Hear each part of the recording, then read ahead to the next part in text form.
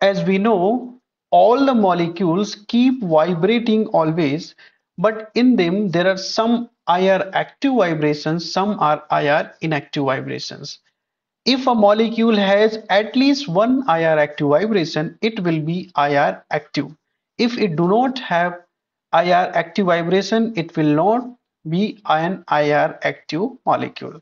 So what are IR active molecules see first we'll see IR active vibration. Those vibrations during which there happens change in the dipole moment of the molecule they are they are IR active vibrations.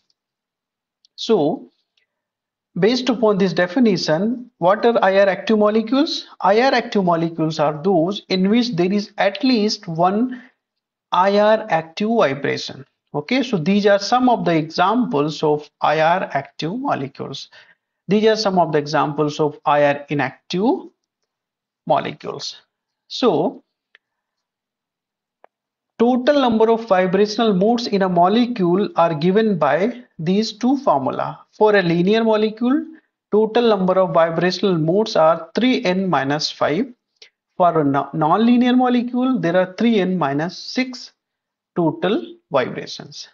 So I will take one example of linear and one example of non-linear molecule and I will calculate the vibrations. So here I have taken one linear molecule that is CO2. CO2 is a linear molecule. So applying this formula 3n minus 5 we will get four different vibrations. Okay. So now first vibration you see First vibration is symmetric stretching. In this symmetric stretching, there is no change in dipole moment. You can see here. This is why this vibration is IR inactive. Okay. Now the second one is second one is asymmetric stretching. You can see this is asymmetric stretching. In the asymmetric stretching, there is change in the dipole moment. So this vibration is IR active vibration. And the other one, third is in plane bending. During this, dipole moment change happens. Therefore, this vibration is also IR active vibration. Similarly, you can see out of plane bending. In this also, change in dipole moment happens therefore this is an IR active vibration. Overall CO2 is a IR active molecule with one IR inactive vibration and three IR active vibrations. Okay? Now we will move to the next example that is a non-linear molecule that is water. Water has three vibrations.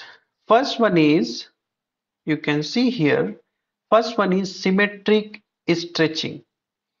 During symmetric stretching there is no change in dipole moment. This is why this is IR inactive vibration. You can see the animation here.